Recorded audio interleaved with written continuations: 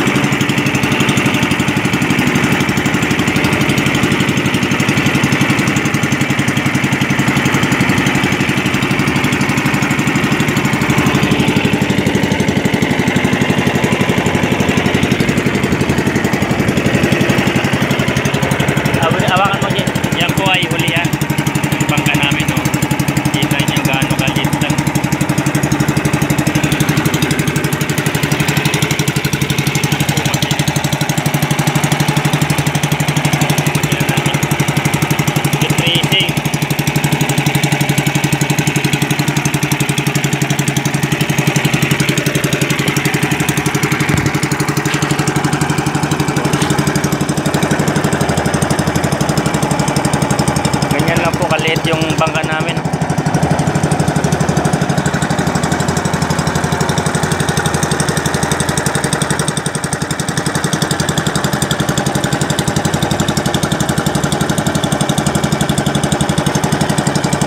Dadayo kami sa Barangay Tinigban.